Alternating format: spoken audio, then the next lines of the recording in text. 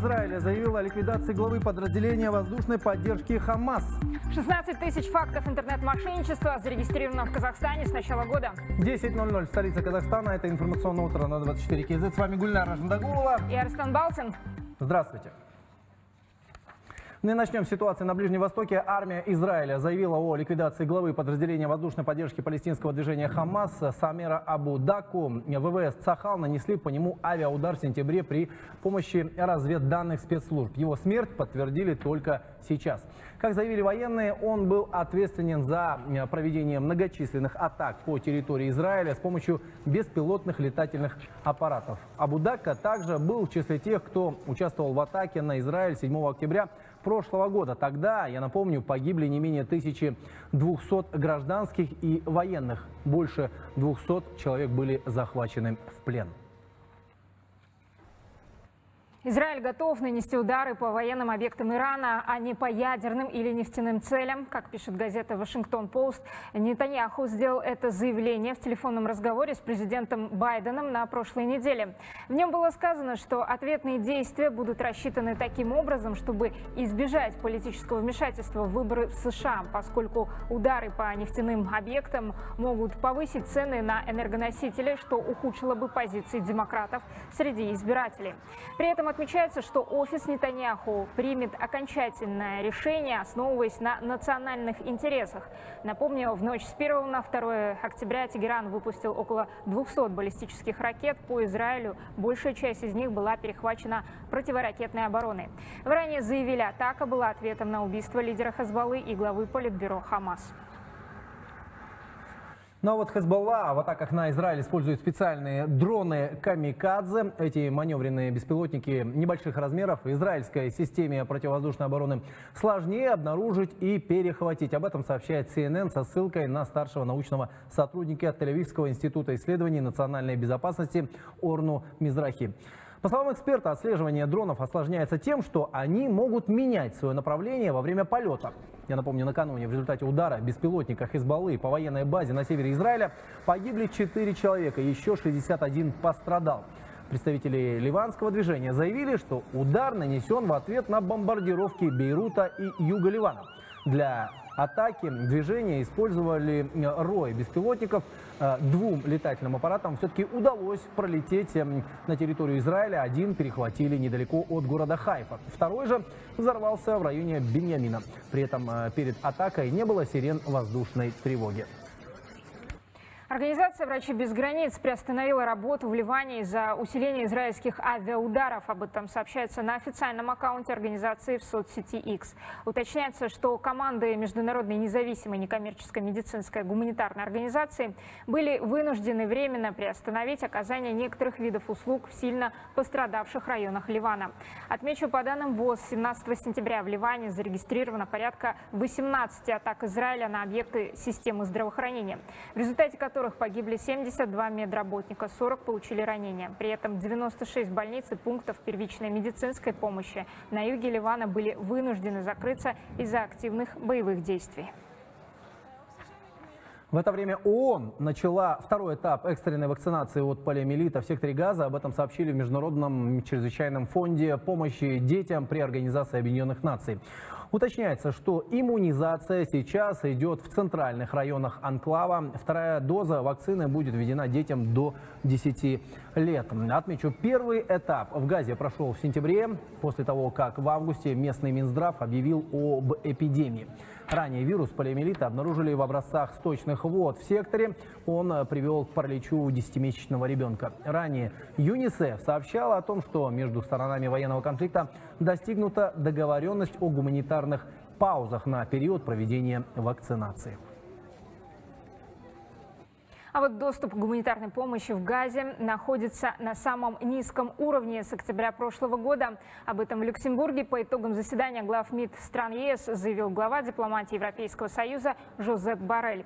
По его словам, международное гуманитарное право погребено под руинами Газа. Только по официальным данным число жертв в анклаве с начала октября прошлого года достигло 42 тысяч человек. Большинство из них – женщины и дети. Барель призвал к немедленному прекращению огня в регионе. За последние две недели жители Газы не получали никакого продовольствия. 400 тысяч человек получили призыв эвакуироваться, но им некуда идти, они в ловушке. Нам нужно немедленно добиться устойчивого прекращения огня в Газе и Ливане. Но пока мы даже обсуждали это в Совете ЕС, еще один небольшой город в Южном Ливане был атакован. Погибли около 20 человек. Израильская армия опасно перешла еще одну красную черту. Обстрел миротворцев был единогласно осужден ЕС.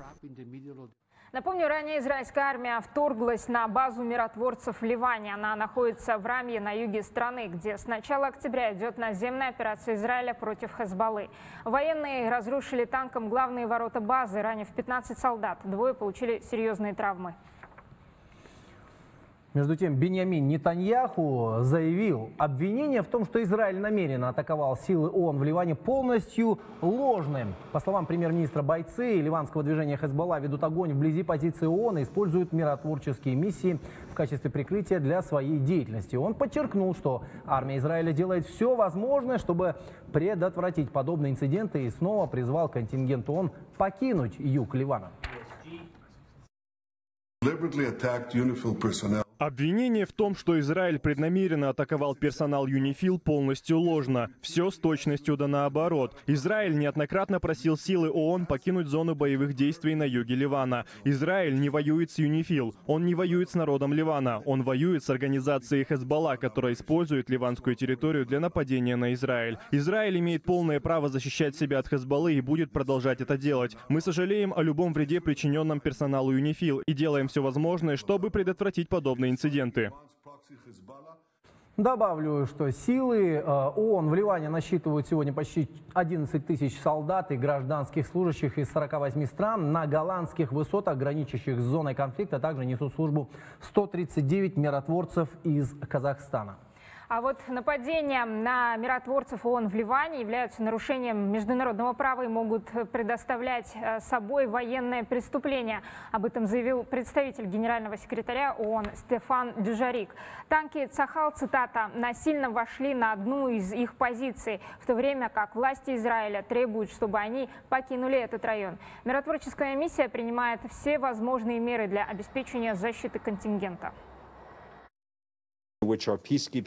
Коллеги из ЮНИФИЛ заявили, что с 1 октября их позиции были затронуты 20 раз, в том числе прямым огнем, а один раз с помощью двух танков армии обороны Израиля. Генеральный секретарь призвал все стороны воздержаться от любых действий, которые подвергают риску наших миротворцев. Миссия принимает все возможные меры для обеспечения защиты своих миротворцев. Прямо сейчас они остаются на своих позициях для выполнения мандата, сообщая обо всем, что происходит.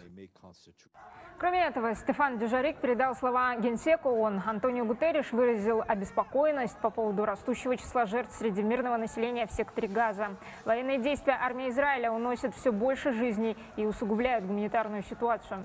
Напомню, накануне ВВС Цахал нанесли авиаудар по палаточному лагерю на территории больницы Алякса в секторе Газа. Погибли 4 человека, а еще 70 получили ранения и ожоги. В результате взрыва загорелись палатки. Беженцы вынесли пострадавших и пытались потушить огонь подручными средствами до приезда пожарных. Мы осведомлены о весьма тревожных сообщениях об израильском нападении на территорию больничного комплекса в центральной части Газы. Генеральный секретарь осуждает большое количество жертв среди гражданского населения и усиливающиеся атаки на севере анклава, включая удары по школам. Он призывает все стороны конфликта соблюдать международное право и установленные границы, в которых гражданские лица должны быть в безопасности. Гуманитарная помощь в секторе Газа сейчас крайне недостаточна и находится на самом низком уровне за последние последние месяцы. Ну а сейчас э, в США 206 пропалестинских э, протестующих арестовали возле здания фондовой биржи в Нью-Йорке, сообщает Рейтер.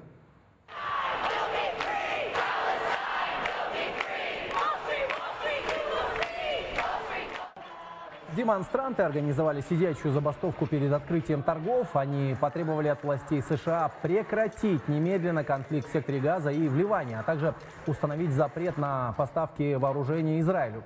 Активисты скандировали лозунги «Да здравствует Газа» и пытались прорваться в здание биржи.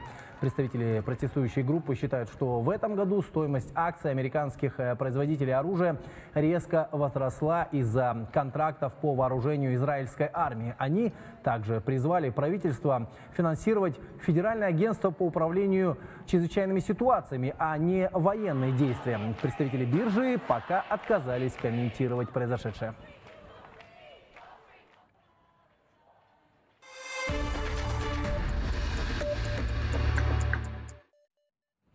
Ну и вернемся к событиям в нашей стране. В Казахстане могут изменить правила подключения к интернету в общественных местах. Новый проект предполагает, что для доступа к интернету пользователи смогут вводить свой номер телефона в специальную форму и получать одноразовый пароль. Это можно будет сделать через кнопку «Получить пароль» или с помощью системы ЕГОВ, что раньше не предусматривалось. Пароль будет отправляться в виде СМС на указанный номер или его можно будет получить через звонок. Также появится возможность автоматически автоматически подключаться к интернету при звонке на сервер оператора.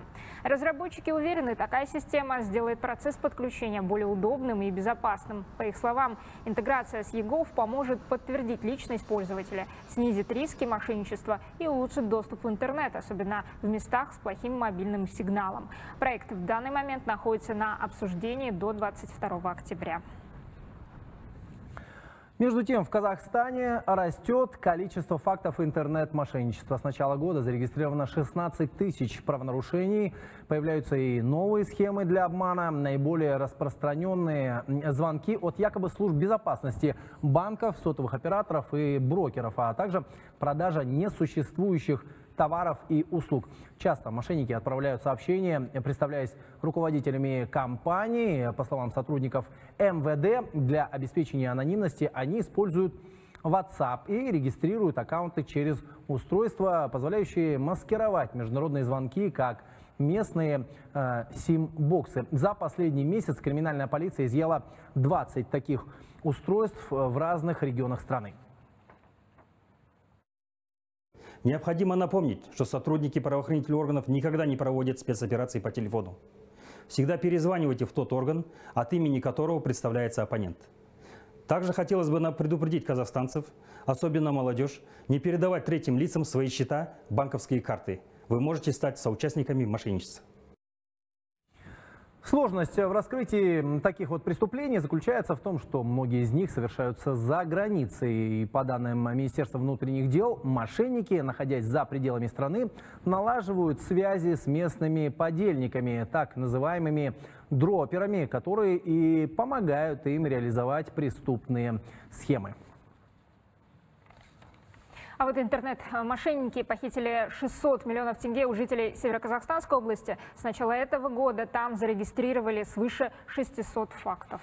Эти вот преступники работают э, по тщательно отработанной схеме и не устают и придумывать новые для обмана доверчивых граждан. Что делать, чтобы не попасться на их удочку, выясняли наши корреспонденты.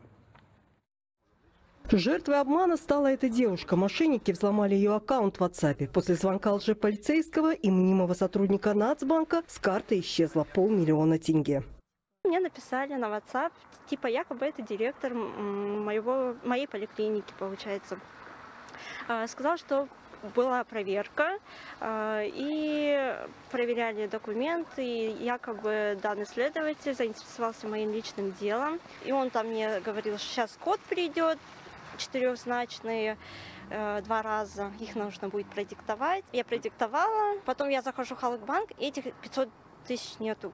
Дело потерпевшей сейчас в суде. Впрочем, не только это. С начала года в регионе по факту мошенничества возбудили свыше 600 уголовных дел. Нанесенный людям ущерб составил почти 600 миллионов тенге, сообщил подполковник полиции Виталий Подчернин. Основными схемами являются это звонки лжесотрудников банка, участие в сомнительных финансовых проектах, а также э, звонки о том, якобы заканчивается срок действия сим-карты. Стражи порядка призывают быть бдительными и напоминают, что сотрудники банков и правоохранительных органов требовать по телефону конфиденциальные данные не вправе. Такой разговор лучше сразу прекратить и обратиться в полицию. Райхан Тажибаева, Айдарбек Айтмухамбетула, Хуаныш Казбеков, Петропавловск, 24 КЗ. Ну а вот подробнее о киберпреступлениях и способах их выявления мы прямо сейчас поговорим с Олжасом Майткановым. Э, Вы являетесь майором, а также являетесь э, начальником отдела по борьбе с киберпреступностью. Добро пожаловать в нашу студию. У нас накопилось много вопросов именно касательно киберпреступлений. Э, Скажите, пожалуйста, вот какие основные киберугрозы вы видите в стране в настоящее время? Здравствуйте еще раз.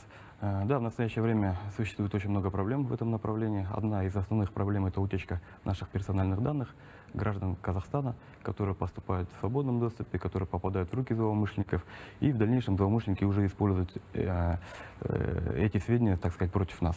То есть они звонят, представляются э, сотрудниками правоохранительных органов, сотрудникам службы безопасности банка и так далее. То есть э, насколько работает фантазия, настолько может мошенники могут развиваться и э, использовать эти данные против нас. Поэтому я полагаю, что это одна из самых основных проблем в настоящее время в плане киберугроз. Вот смотрите, буквально накануне была рассылка по WhatsApp-чатам, что вот через ЕГОВ а, мошенники пытаются взломать ну, все данные и таким образом получить а, доступ а, к мобильным приложениям казахстанцев. Какие основные шаги а, необходимы, чтобы вот себя предостеречь от этого? И многие ведь не верят еще этим WhatsApp-рассылкам. Насколько им можно доверять? Ну, видите, в то же время еще как бы тот номер 1414, он объявлен государственным, и ему как бы стоило бы доверять, и люди ведутся на это. Таких подобных случаях, вот как я говорил ранее, мошенники все что угодно могут придумать, любую схему обмана могут придумать, развернуть ее так, как им угодно, то есть для того, чтобы получить выгоду. В таких случаях необходимо всегда помнить, что любое, э, любое смс-сообщение, которое поступает на мобильные телефоны, любой э, код подтверждения, который поступает в мессенджерах WhatsApp, любая информация, которая запрашивается посторонними лицами, пускай это будут правоохранительные органы, пускай это будут государственные органы и так далее, эту информацию ни в коем случае никому нельзя передавать. Ну вот смотрите, вот сейчас растет да, число таких интернет-мошенничеств. Насколько мы осведомлены, эти случаи мошенники к нам а, поступают из России и Украины. Вот сейчас э, какая борьба ведется, потому что ну слишком вот прям засилие этих случаев у нас происходит. Буквально вчера слышал информацию о том, что даже цветы уже принимать опасно, потому что их могут отправить э, там определенному человеку, да, и позвонить, допустим, на следующий день, сообщить о том, что вот вы получили эти цветы, вам пришло смс-сообщение, подтвердите этот э, там код, что вы их получили, и все, человек попал на удочку. То есть каждый день что-то новое выдумывают. Все верно, каждый день что-то новое придумывается, опять же, злоумышленниками, но кибергигиену никто не отменял, надо строго хранить все поступающие сообщения, все свои, все свои персональные данные строгой конфиденциальности. Скажите, вот, э, Ужас Конышевич, вот какие меры сегодня принимаются Министерством внутренних дел, ну, непосредственно, э, для повышения осведомленности населения о э, киберугрозах? Мгм. Ну, нами проводятся различные лекционные занятия в учреждениях образования, в учреждениях здравоохранения, коммерческих, некоммерческих организациях. А, В лекционных занятиях мы подробно раскрываем используемые схемы, методы и способы совершения таких мошенничеств. Рассказываем, каким образом проходят, э, выводятся денежные средства, добытые преступным путем. И предостерегаем от таких, э, так сказать, нападок со стороны злоумышленников. Также мы э, активно ведем агитационно-профилактическую работу в средствах массовой информации. Стараемся как можно больше и как нужно больше информации донести до населения, то есть через разли- различные способы. Ведем специальные аккаунты на своих страниц, социальных страницах, э, выступаем на брифингах. Э, В принципе, все, что в наших силах, мы делаем. А насколько вот э, велика вероятность того, что пострадавший человек может э, вернуть свои потерянные средства, свои деньги? Ну, в настоящее время э, есть практика возврата денежных средств э, через, так сказать, называемых дроперов. То есть, согласно 953 статьи э, Гражданского кодекса Республики Казахстан, денежные средства, поступившие, необоснованно поступившие э, к получателю, э, подлежат возврату. То есть, в таком случае многие наши пострадавшие Первоочередно мы им рекомендуем обратиться в, государство, э, в органы суда для того, чтобы они вернули свои денежные средства. Ну, порой ведь дроперы и сами не виноваты. Имеется в виду, деньги-то проходят транзитом. Все верно, но э, при получении финансового инструмента в банке есть четкий алгоритм, э, есть четкое положение, что запрещается передавать свои банковские карты, свои финансовые инструменты в посторонние руки. То есть если даже меня мошенническим путем обманули, якобы ко мне поступило день, поступили денежные средства, в таком случае я должен как минимум уведомить банк о том, что мне поступили денежные средства и разобраться в произошедшем. Вот вы работаете в департаменте полиции города Астаны. Вот э, какое-то международное сотрудничество между вашими отделами да, э, предусмотрено? Работает ли эта схема?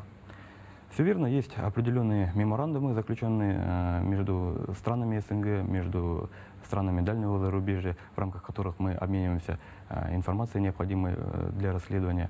В рамках правового поля направляем международные поручения, которые обязательны к исполнению. В принципе, международное сотрудничество у нас развито. А какие вот на сегодня необходимы механизмы для того, чтобы еще более эффективно бороться с киберпреступностью? Каких изменений не хватает в законодательстве? Ну, э, есть, в настоящее время рассматривается ряд вопросов. Это изменения э, о законе, законе о сотовой связи, где в ближайшее время планируется Э, хотелось бы, чтобы приняли закон, э, обязали каждого абонента, который получает абонентские номера, э, чтобы он нес строгую персональную ответственность за это. И основная проблема – это дроперство у нас, чтобы дроперов привлекали к установленной ответственности. А как с ними вот можно бороться? Как вы хотите ограничить это? Какие-то предложения есть? Нами предложения внесены. Рассматривается два вопроса. Это будет либо административная ответственность, либо уголовная ответственность. Ну что ж, спасибо. Все конкретно, э, как бы можно было бы об этом говорить еще больше, но времени эфирного недостаточно для этого. Но тем не менее, спасибо за ответы. Я напомню, э, с нами эм, беседовал Олжас Майтканов, э, начальник отдела по борьбе с киберпреступностью Департамента полиции города Астаны. Вам хорошей службы и здравия желаем. Всего доброго. Почти 300 уголовных дел по фактам коррупции в сфере образования завели в Казахстане за два года. Общая сумма ущерба свыше 16 миллиардов тенге. Об этом сообщили в антикоррупционной службе. Наибольшие суммы хищений зафиксированы в Туркестанской, Козлординской, Алматинской, Актюбинской областях и в Алматы. В ходе расследования выявлены почти 400 взяточников. 207 из них осуждены и приговорены к мерам наказания.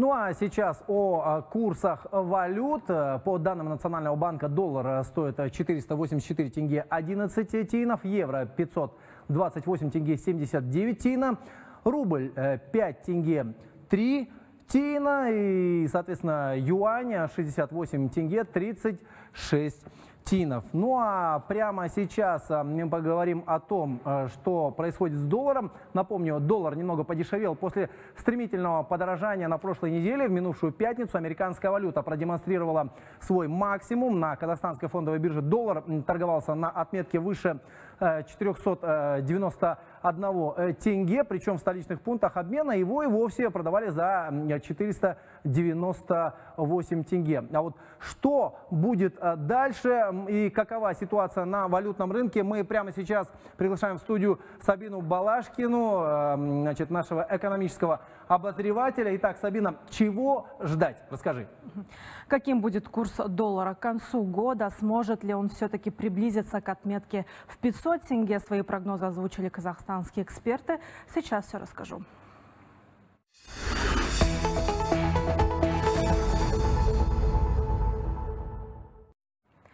1 октября днем курс доллара был на уровне 480 тенге, а вот уже 10 октября он вырос до 491 тенге.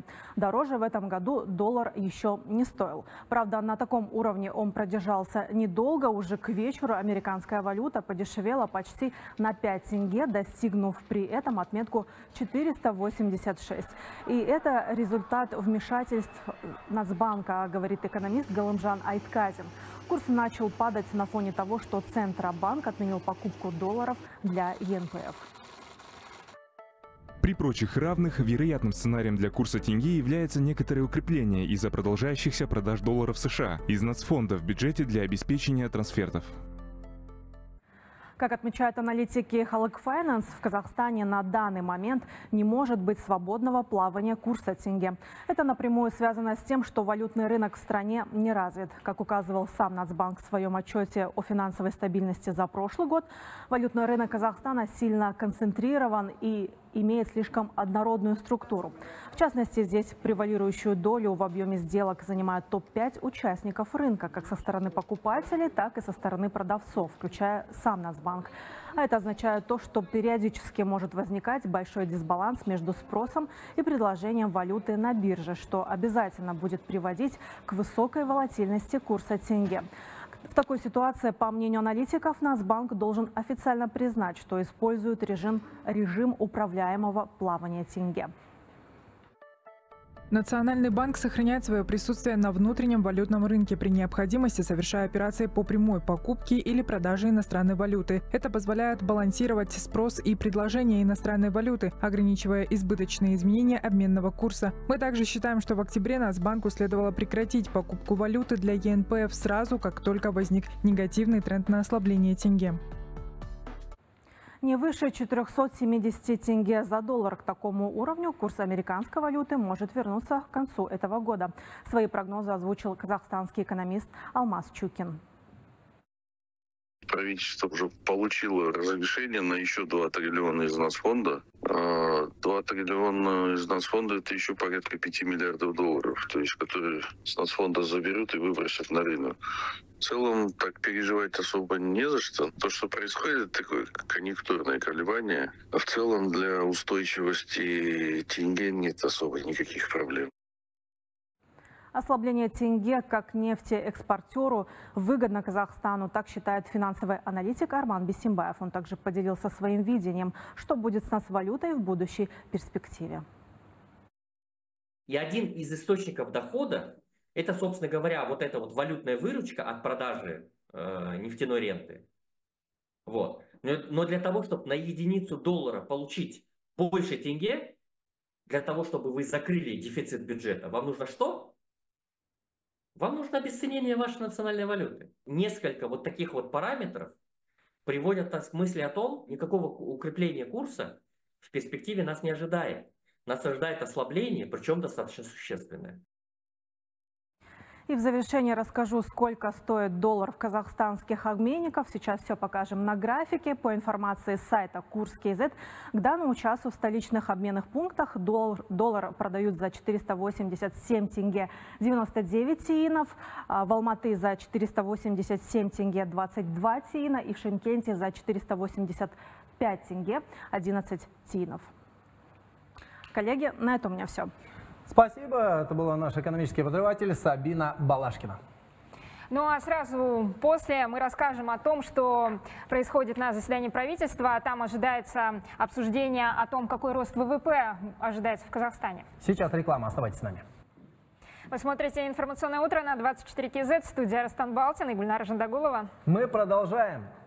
4% составил рост ВВП в Казахстане с начала года. Итоги социально-экономического развития страны и исполнения республиканского бюджета за 9 месяцев текущего года рассматривают прямо в эти минуты на заседании правительства. И сейчас там работает наш корреспондент Батагос Базарбаева. Батагос, здравствуйте. Приветствуем. Коллега, расскажите, какие отрасли все-таки показали рост и есть ли такие?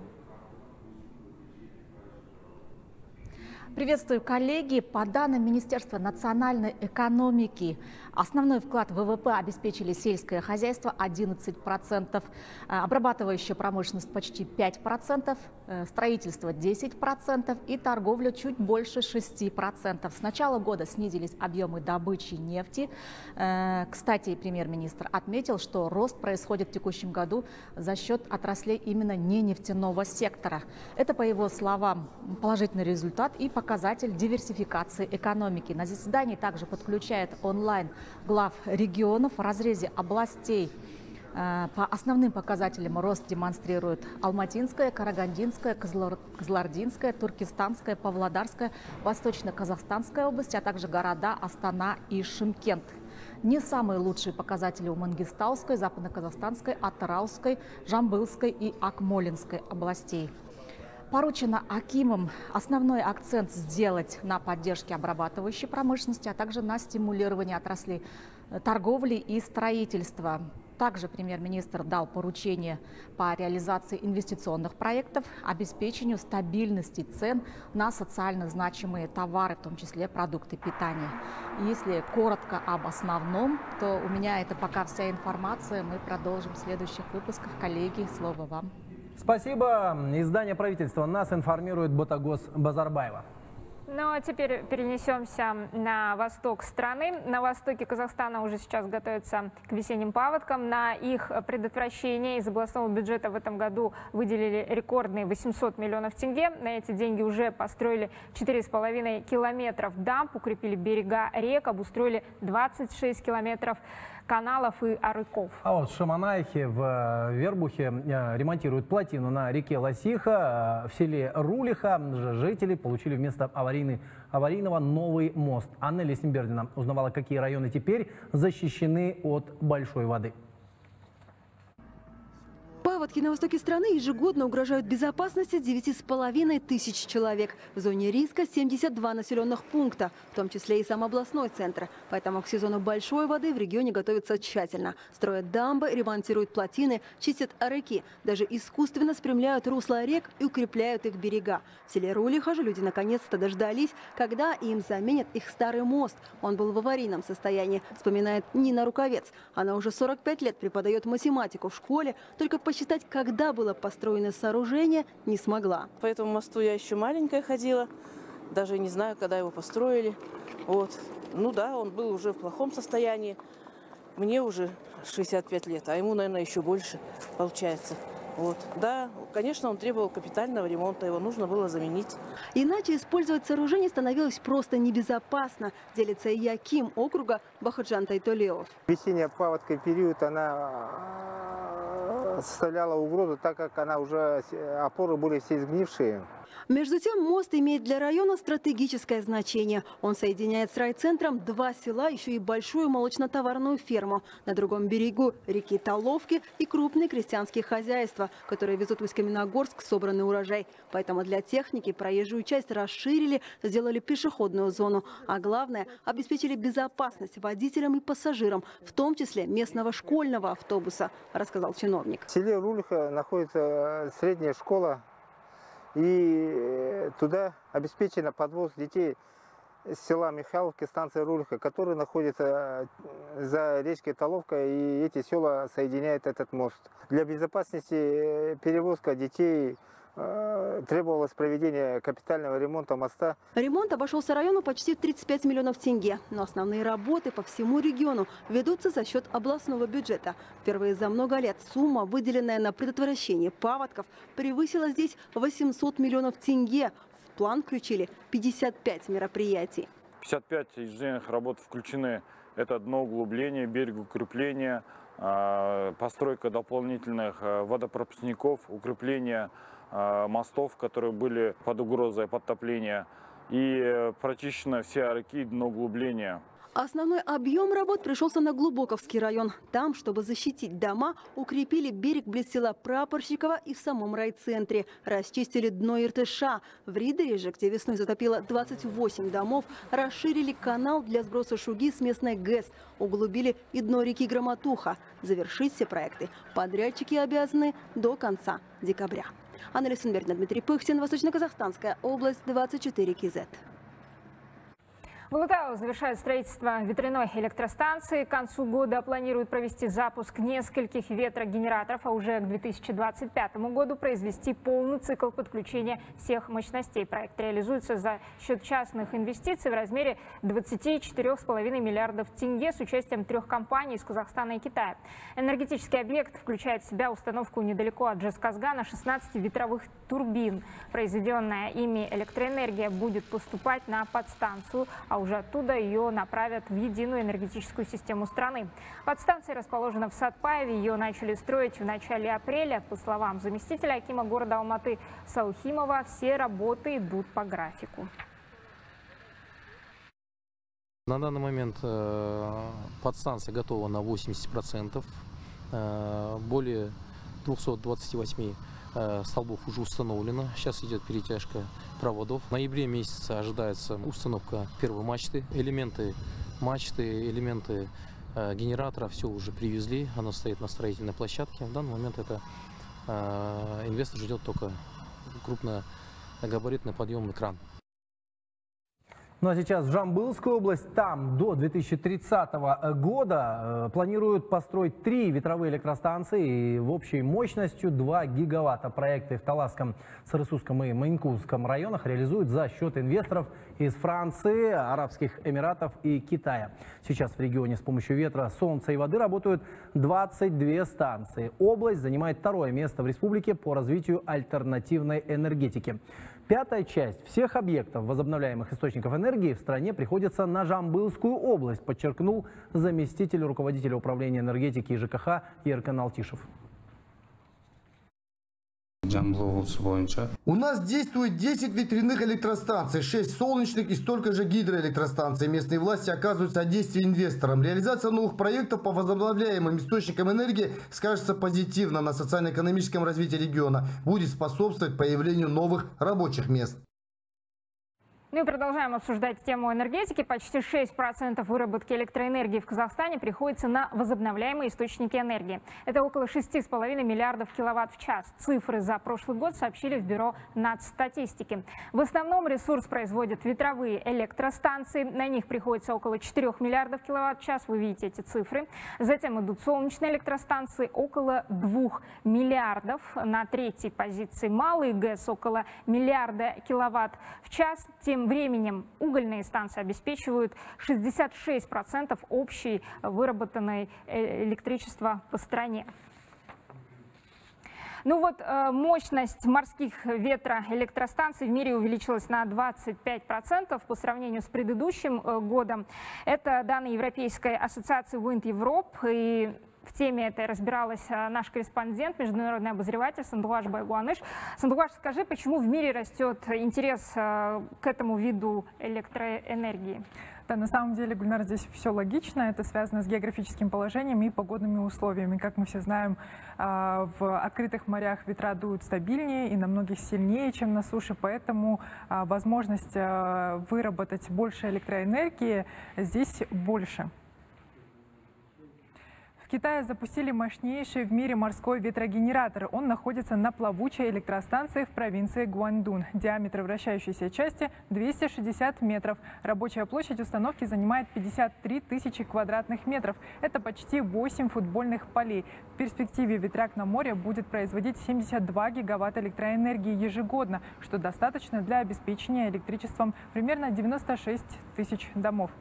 Отмечу, плавучая э, ветроэлектростанция построена китайской государственной компанией Dongfang Electric. По словам инженеров, платформа спроектирована таким образом, чтобы противостоять воздействию разрушительных штормов и тайфунов. Для вывода этой платформы в открытое море мобилизовали 10 кораблей. Ветроэлектростанция движется по направлению ветра. При этом глубина воды не должна быть меньше 35 метров. Срок эксплуатации плавучей платформы рассчитан на 25 лет. Сегодня Китай лидирует в мире по количеству действующих морских ветроэлектростанций. Согласно данным аналитического сайта «Статиста», в республике есть 129 установок. Их общая энергетическая мощность превышает 37 гигаватт в год. Таким образом, на долю КНР приходится около половины общемирового объема выработки морской ветроэлектроэнергетики. Между тем, наиболее сильные ветры дуют э, в Северном море, которое находится между Британскими островами, Скандинавией и Европой. Это перспективное место для развития ветроэнергетики. К примеру, в Великобритании находятся крупнейшие в мире морские ветряные электростанции. Две из них расположены недалеко от графства Йоркшир. Эти комплексы принадлежат компании Хорнси. В них насчитывается около 340 турбин. Вместе они обеспечивают электроэнергией 2,5 миллиона семей королевстве. В будущем планируется запустить еще два ветропарка. Хорнси правительство Великобритании уже одобрило строительство соответствующих проектов. Хорсли-4 значительно укрепить энергетическую безопасность Великобритании. Работа этого комплекса поможет нам уйти от волатильности мировых цен на газ и приблизиться к энергетической независимости, а также позволит нам совершить значительный скачок вперед к чистому нулю. Ветропарк Хорсли-4 будет состоять из 180 турбин, что при полной постройке обеспечит достаточно энергии для удовлетворения среднесуточных потребностей более миллиона домов.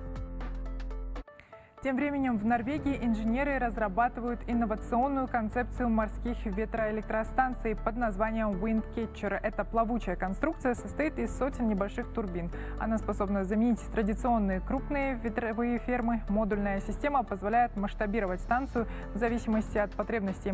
Внешне она напоминает стену из ветрогенераторов. Каждый блок подключен к центральной подстанции, которая затем передает электричество в сеть.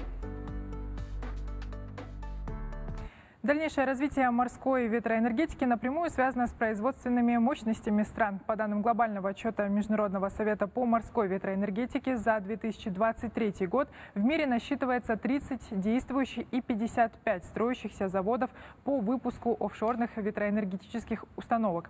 Китай удерживает лидирующую позицию, занимая около 60% мирового рынка оборудования. Европа, в свою очередь, является вторым по величине регионом с основными производственными мощностями в Дании, Германии и Франции. У меня на этом все. Коллеги, вам слово. Что ж, можно только сделать одно заключение. Лишь бы в акватории вот этих вот морских ветроэлектростанций не было полного штиля. Спасибо, это была Сандугаш Байгуаныш.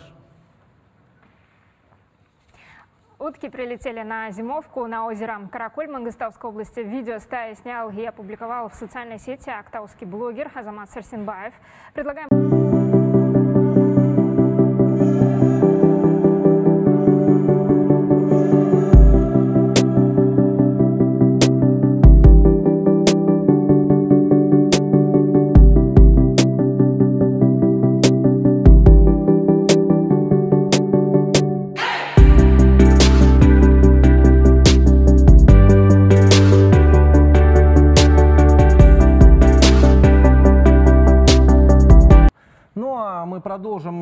информацией от э, синоптиков. Дожди и снег ожидаются на большей части Казахстана. По данным Казгидромета, осадки прогнозируют на юго-востоке, севере, западе и в центре страны. Ночью в Кызылординской области заморозки до 2 градусов. По республике усиление ветра. На севере сгустится туман. В Астане же сегодня без осадков. Температура воздуха днем до 5 градусов тепла. А теперь к спорту. В китайском городе Нинбо стартовал турнир категории WTA 500. Казахстанская теннисистка Юлия Путинцева успешно провела матч первого круга, разгромив американку Каролин Доулхайт. К нашему эфиру присоединяется коллега Алишер Накипов со своей рубрикой «Sport Life». Итак, Алишер, э, напомни, каким счетом завершилась эта встреча? Противостояние завершилось со счетом 6-2, 6-0 в пользу второй ракетки Казахстана. Во втором круге Путинцева сыграет с победительницей матча между китаянкой Ван Яфани и бразильянкой Беатрис Хадат Майей, которая поднялась на десятое место в мировом рейтинге.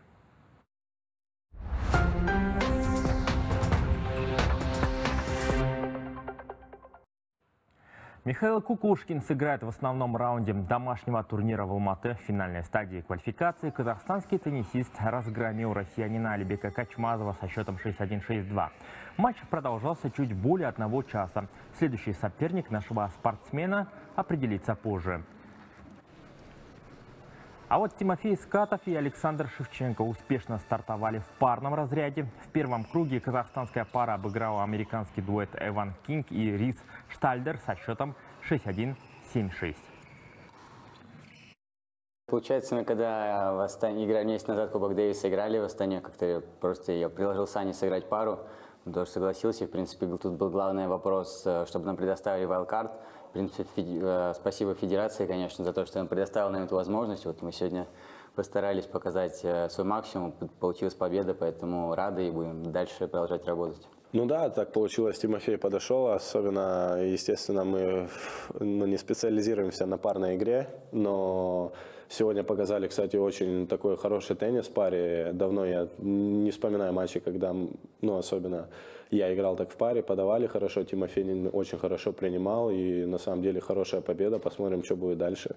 А, играем, я так понял, против аргентинца и, и там еще один, я, если честно, сейчас не вспомню, но я думаю, у нас будут хорошие шансы зайти и дальше. Между тем, в Алматы продолжается международный теннисный турнир категории ATP 250. Он продлится неделю. За это время на Алматы-арене проведут 54 игры. На корте сойдутся более 50 теннисистов из 20 стран мира. Призовой фонд домашнего первенства превышает 1 миллион долларов. Подробнее о турнире готов наш корреспондент Гафу Али. Гафу, приветствую. Вам слово. Приветствую вас, Алишер. Да, в Алматы уже подошли к концу квалификационной матчи. Все они прошли здесь, на Алматы-арене. Сегодня официальное открытие турнира. Также сегодня пройдут официальные матчи из основной сетки. Как вы и отметили, в турнире примут участие более 50 теннисистов из 20 стран мира, 5 из которых входят в мировой топ-30. И для тех, кто не знает, э, отмечу, что турниры ATP 250 – это категория соревнований среди мужчин-профессионалов. Они проходят в 40 странах мира. Каждый победитель получит по 250 очков в общий зачет э, рейтинга ATP. И о том, какие казахстанские спортсмены примут участие на этом турнире, расскажет мой собеседник Юрий Польский. Это официальный представитель турнира от Казахстанской Федерации тенниса. Юрий, приветствую, вам слово. Здравствуйте. Ну, только что закончил тренировку Бейбы Жукаев. У него сегодня будет а, матч первого круга основной сетки турнира. Он будет, а, я думаю, стараться победить э, соперника, который выбил Дениса Евсеева, нашего матинского теннисиста, буквально перед этим в квалификационном раунде. Также вечером состоится казахстанское дерби между Александром Шевченко и Михаилом Кукушкиным. Также э, Кукушкин, э, э, также Скатов и Шевченко будут играть в паре в последующие дни. И Тимофей Скатов будет э, с четверга начинать свое выступление против сейного игрока, который находится в сильной форме, но мы верим в Тимофея, что он сможет одержать победу на над э, Томасом Махачем, который только что вернулся из Шанхая, где выбил из основной сетки э, вторую ракетку мира Карлоса Аркараса. Спасибо большое, Юрий. Удачной вам работы. А, а я отмечу, что выбор Алматы как место проведения этого турнира не случайен, ведь именно в этом городе в 30-х годах прошлого столетия, почти 100 лет назад, была открыта одна из первых школ тенниса, а, проложив начало развитию этого спорта в Казахстане. Алишер, у меня на этом все. Ну что ж, будем надеяться, что на домашнем первенстве в Алматы победит именно казахстанский теннисист. Это был Гафу Али из Алматы. К другим темам сразу 9 медалей различного достоинства завоевали казахстанские спортсмены на международном турнире по эстетической групповой гимнастике в Гонконге. Отмечу, что это одна из самых престижных мировых арен, где собрались сильнейшие команды со всей планеты. Всего в первенстве приняли участие 55 коллективов из 13 стран. В частности, столичные гимнастки в короткой программе возрастной категории от 12 до 14 лет показали хорошие результаты, что позволило им занять второе место. За победу в этой категории боролись боролись сборные Казахстана, России и Сингапура. Спортсменок, завоевавших медали в столичном аэропорту, торжественно встречали друзья, родственники и болельщики. В целом а, наша республика показала отличные результаты. Мы оказались а, в середине, в начале в таблице, в разных категориях. Мы собрали все комплекты медалей. Дети отлично себя презентовали. Мы очень долго ждали а, и готовились к данному турниру. Мы представляли Казахстан на чемпионате Азии и на, чемпи... на международном турнире в Гонконге. Казахстан представил, очень громко зашел на, на турнир, конечно. У нас была самая большая делегация. А, из Астаны было, представляли две школы. Был обзор на сегодня. Ну а мы тоже присоединяемся к поздравлениям э, с успешным выступлением наших гимнасток в Гонконге. Спасибо, это был Алишер Накипов и его Sport Life.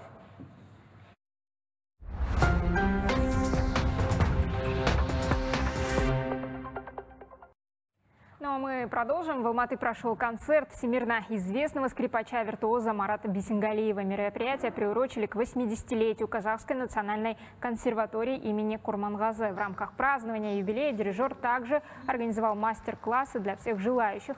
Это хорошая возможность для начинающих музыкантов, отмечает ректор консерватории Гаухар Тазбергенова. Для нас это огромная возможность, для, особенно для наших молодых студентов, для наших будущих коллег, колоссальный опыт, который они сегодня получают. Я думаю, что он практически несравним. Это, наверное, самое ценное, что может дать образование в целом в консерватории, тем более, когда приезжают такие легенды, наши партнеры, наш большой друг э, Марат Бисингалеев.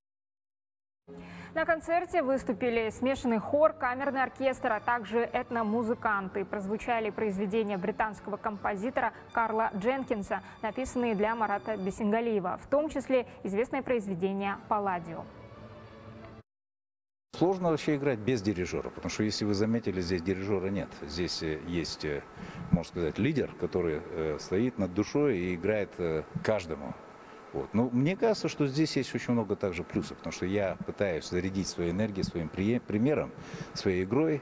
И мне кажется, что молодые студенты, они окликаются, и мне удалось найти с ними коннект, ну а мы благодарим, что вы были с нами этим утром. С вами были Гульнара Жандагулова и Арстан Балтин. Не переключайтесь, оставайтесь на 24 КЗ. Всего доброго. Обязательно увидимся.